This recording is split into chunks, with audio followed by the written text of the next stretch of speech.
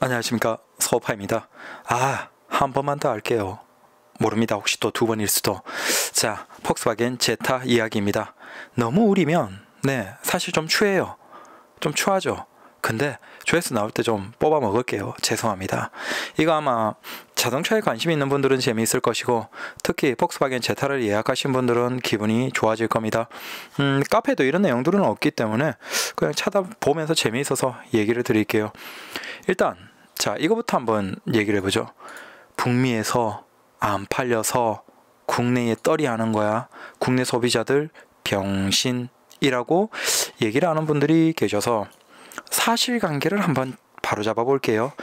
어, 미국에서 이 C 세그먼트라고 할 수 있는 이 여기에서 보통 이제 럭셔리 라인이 있고 그냥 일반 자 근데 이 일반 자동차에서 이 세그먼트의 순위를 쭉 한번 볼까요? 그래서 2019년 3분기 대비 2020년 판매량의 플러스 마이너스를 보면 진짜 북미에서 폭스바겐이 제타가 완전 망해버려서 너무나 안 팔려서 재고로 엄청나게 많이 쌓여서 그걸 국내에 떨이하는 걸까? 진실입니다. 어, 2019년 3분기 대비 2020년 3분기의 판매량의 가장 높은 순서부터 한번 볼게요. 자, 1위가 어, 쉐보레 소닉 이게 102% 판매량이 증가했습니다. 1위죠. 그 다음에 쉐보레 스파크, 그 다음 닛산의 베르사, 그 다음 미니 쿠퍼, 그 다음 혼다 핏, 이 정도입니다. 이게 플러스입니다. 얘들 다섯 개 정도가 유일하게 플러스입니다. 나머지는 다 2019년 3분기 대비 마이너스입니다. 근데 여기서 보면 좀 특징이 있죠. 쉐보레의 작은 차들, 그 다음 닛산. 결국은 음, 지금의 이 상황에서 사람들이 쓸 돈이 여유 있지 않으니까 상대적으로 좀 소비 소비가 좀 위축돼서 작은 차들, 꼭 필수적인 차들. 심지어 그 미국에서도 저 경차가 8,000대 넘게 팔렸어요. 스파크가. 자, 이게 현재 경제 상황을 얘기해 준다. 그럼 이제 마이너스에서도 쭉 보면 이 특징은 더 확실하게 알 수 있습니다. 그나마 판매량이 감소한 마이너스 중에서도 좀 판매량이 덜 감소한 애들 기아 소울, 포르테, 기아 리오 놀랍게도 마이너스 가장 적은 숫자들이 얘들 순위입니다. 마이너스 3.4, 마이너스 5.6, 마이너스 6.6. 그 다음에 혼다 시빅이 마이너스 15% 작년 대비. 자, 좀 심해지죠. 그 다음, 현대 벨로스터, 현대 엑센트가 있습니다. 마이너스 17%, 마이너스 22%. 꽤나 많이 감소하기 시작을 했죠. 그 뒤로 넘어갈게요. 드디어 나옵니다. 폭스바겐 제타, 마이너스 21%.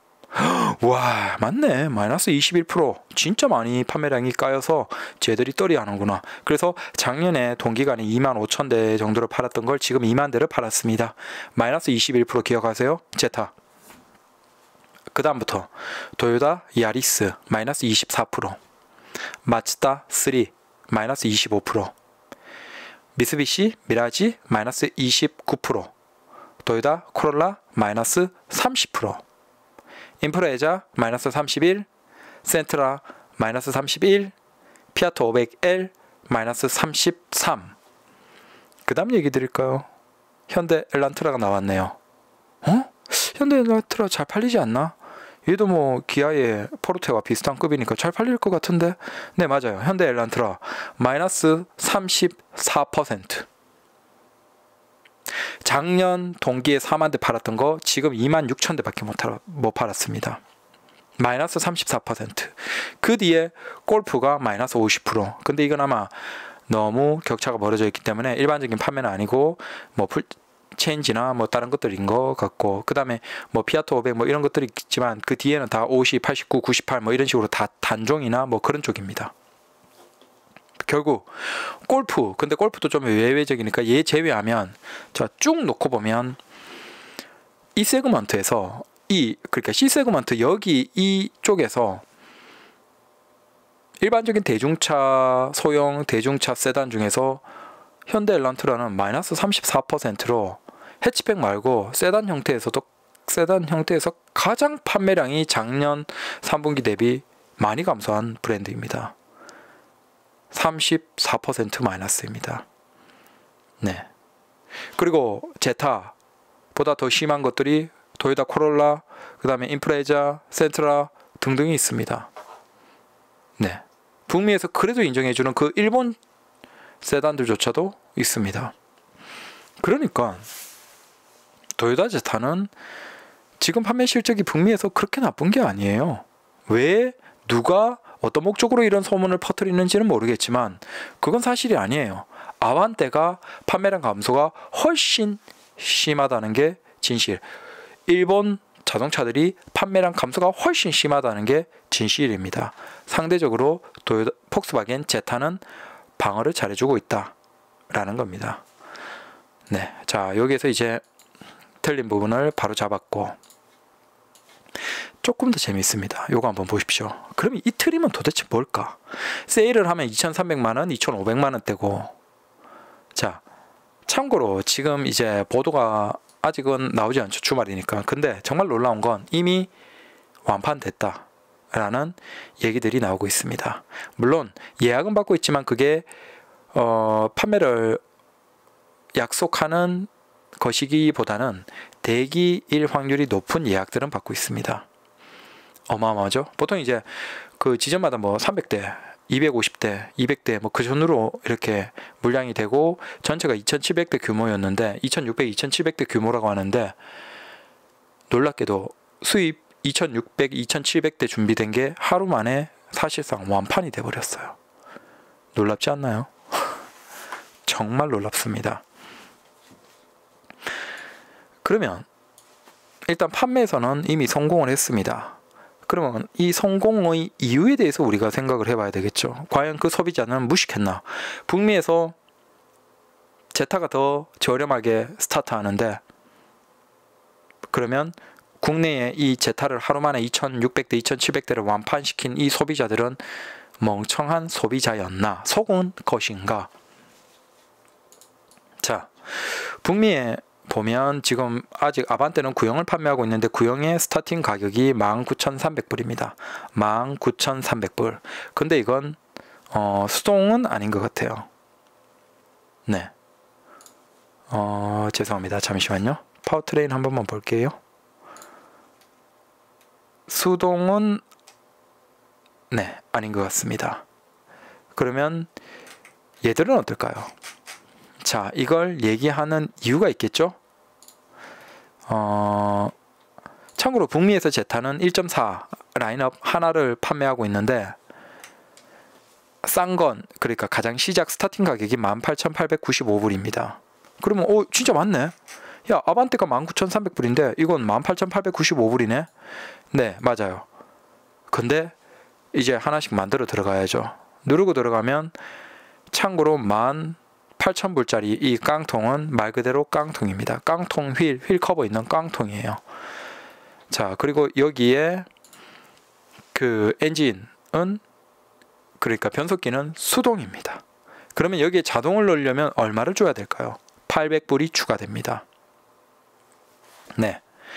휠도 다르고 휠은 깡통 휠에다가 그 다음에 수동 자 거기에 800불만 기본적으로 들어, 들어가도 이미 네 19,000 아, 19,900불, 19,895불 정도가 넘어가죠. 자, 얼마죠? 아반떼 깡통 얼마죠? 19,300불. 자, 이것만 해도 훨씬 더 비싸죠. 근데 저 트림이 아니라는 거예요. 깡통이 아니고 그 위에 트림 SE 등급으로 가볼까요? SE 등급으로 갔을 때 이게 스타팅 가격이 2만 죄송합니다. 22,646불입니다. 어, 그럼 요거 맞, 맞겠네. 22,645불. 근데 요걸 여러분들이 만들게 해보시면 휠 자체가 다릅니다. 휠이 이게 16인치 같아요. 참고로 국내 들어오는 건 17인치, 어, 17인치 맞을 겁니다. 저 휠이 아니에요. 그러면 국내 들어오는 휠이 높을까요? 지금 여기 있는 22,000불짜리 휠이 높을까요? 국내 들어오는 휠이 더 상위 옵션입니다. 놀랍죠? 그래서 뒤로 쭉 가면 놀랍게도 휠을 추가해야 되는데 그 휠 추가 비용이 있고 그 다음에 이 22,000불짜리는 휠 추가도 불가능한 형태입니다. 그러면 여기에 뭘 추가해야 되냐? 운전석에 네 cooling seat입니다. 어? 맞아요. cooling seat 500불 추가입니다. 그러면 다시 볼까요? 자, 22,645불짜리 SE trim은 휠 자체가 훨씬 낮은 등급이고 그 다음에 쿨링 시트가 없습니다. 500불 추가해야 돼요. 그럼 500불 추가하면 얼마죠? 23,000불이잖아요. 이미 저기에서 국내와 비슷하게 하려고 해도 23,000불을 넘어버려요. 그러면 더 가까운 휠까지 포함한 라인업이 SEL입니다. 자, 요게 저는 거의 맞는 것이다 라고 생각이 되는 게 요게 보면 어뭐 10가지의 ambient lighting이 있고 그다음 전체적인 거 무선 충전. 그러니까 기존에는 무선 충전도 없었다는 건가? 여튼 SEL이 2만 5천 불로 올라갑니다. 자, 근데 이 SEL이 되어야지만 바로 국내 들어오는 그 돌풍 휠 그게 기본으로 장착이 됩니다. 근데 이걸 선택하려면 2만 5천 불이 이미 돼야 돼요. 2만 5천 불. 근데 더 놀라운 거 얘기 드릴게요. 옵션이 있는데 어 네. 죄송합니다. 그러니까 국내에 들어오는 거랑 똑같은 트림으로 휠이나 형태를 하려면 운전석 시트나 기본적인 것들을 하려면 결국 2만 4천 불 전후가 되어야 되는 거예요. 2만 2천 불짜리에서도 어, 휠을 참고로 저 휠이 죄송합니다. 저게 옵션으로 있었는데 지금 찾지를 못하고 있거든요. 저게 옵션으로 500불인가 그렇습니다. 그러면 거기에서 저것까지 500불 하면 돈이 얼마죠? 1000불 이상이 올라가는 거예요. 참고로 깡통에는 뭐 driver assist 기능도 다 옵션으로 넣어야 돼요. 그러니까 가장 가까운 게 SEL trim에 썬루프가 있고 없고 그 약간씩의 차이입니다. 근데 SEL trim이 기본 25,495불이에요. 지금 환율로 한다면 한 2,600, 700 정도가 되겠죠. 6, 700, 700, 2,700 정도가 되겠죠. 근데 거기에서 이제 썬루프 빠진 그걸 국내에서 얼마에 팔죠? 2,300만 원대예요. 쉽게 말하면 폭스바겐이 북미에 파는 것보다 지금 할인된 가격으로 사전 예약하신 분들은 북미에 팔리는 가격보다 더 싸게 사고 있는 거예요. 북미에 팔리는 가격보다. 이게 놀라운 일이 아닌가요? 북미는 전 세계 자동차들이 가장 치열하게 경쟁하고 있는 나라예요. 근데 그 북미의 소비자들이 구입하는 독일 자동차보다 대한민국의 소비자들이 더 저렴하게 구입할 수 있는 게 바로 이번의 기회였어요. 네. 북미에서 저거 한 2,500, 그러니까 썬루프 없는 저 휠에 저 통풍 시트에 저 옵션은 한 2,500, 2,550, 2,600 조금 안 되게 줘야 되고 썬루프 있고 저 동일한 등급은 한 2,750, 2,700 그 정도를 줘야 돼요. 근데 그걸 지금 우리가 2,300, 2,500대에 사고 있어요. 그러면 이건 진짜 현명한 소비죠. 북미의 자동차 소비자들보다 우리가 더 싸게 자동차를 살 수 있다면 그건 엄청나게 현명한 소비죠. 네. 그냥 진실을 알고 싶어서 그러는 거예요. 국내에는 이제 아무래도 뭐 아반떼에 대해서 많이 생각하는 사람들이 많겠지만 분명한 건 저 제타를 이번에 사전 예약으로 구입하신 분들은 진짜 똑똑한 정말 현명한 소비인 거예요. 북미에서조차도 저렇게 싸게 못 사요. 네. 그리고 북미에서는 동급으로 본다면 어, 제타 1.4 트림 중에서 비슷한 트림으로 가면 아반떼보다 싸지 않습니다. 도대체 왜 제타를 아반떼보다 싸다라고 하는지 모르겠습니다. 참고로 북미에서 아반떼의 기존의 트림을 본다면 6개가 있습니다. 가장 싼 게 19,300불, 가장 비싼 스포츠 트림이 24,000불입니다. 24,150불. 자, 그러면 북미에서 제타는 가격대가 어떨까요?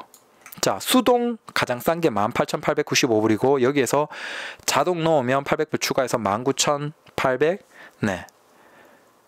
어, 아니죠. 19,695불입니다. 근데 가장 비싼 트림은 SEL 프리미엄으로 27,900불입니다. 거의 28,000불 정도가 돼요. 자, 가장 비싼 트림이 24,000불대. 그 다음에 이건 제타는 27,900불대. 어, 현실적으로 봐도 네. 제타는 북미에서 싼 게 아니다. 아반떼보다. 라고 보는 게 맞겠죠. 네. 그리고 북미에서 변속기 관련 이런저런 얘기가 있지 않냐라고 하겠지만 중요한 건 보증 기간이에요.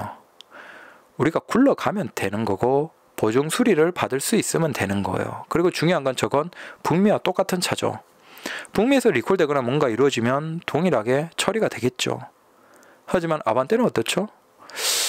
어, 우리가 세타 엔진에 대한 문제 해결이 언제 이루어졌더라? 그랜저 2.5 Smartstream 엔진이 엔진 오일 감소하고 있다라고 주장하는 소비자들이 문제가 100% 해결이 됐나요? 자, 음, 현명한 소비가 맞습니다. 감사합니다.